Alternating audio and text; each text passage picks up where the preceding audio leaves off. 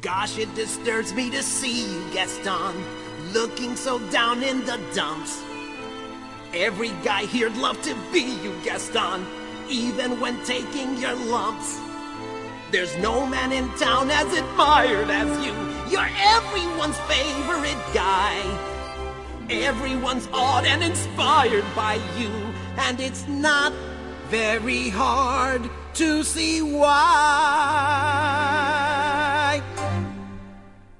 No one's slick as Gaston, no one's quick as Gaston, no one's neck's as incredibly thick as Gaston, for there's no man in town half as manly. Perfect, a pure paragon. You can ask any Tom, Dick, or Stanley, and they'll tell you whose team they prefer to be on. No like Gaston, a kingpin like Gaston. No one's got a swell cleft in his chin like Gaston. As a specimen, yes, I'm intimidating. I want a guy like Gaston. If five hurrahs, if twelve hip hips. Gaston is the best, and the rest is all to rips. No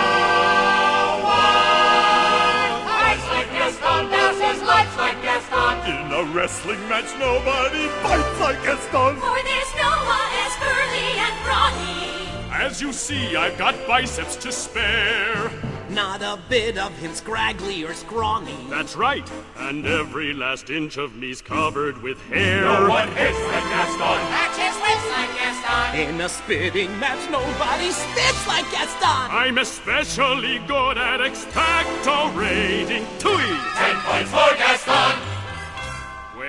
Was a lad, I ate four dozen eggs every morning to help me get large. And now that I'm grown, I eat five dozen eggs, so I'm roughly the size of a barge.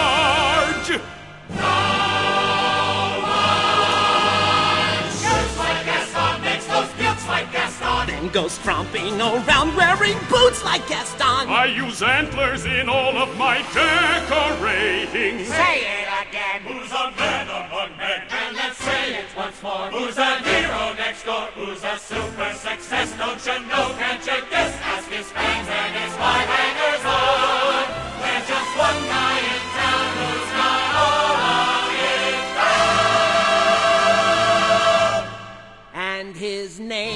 G A S T G A S T E G A S T O.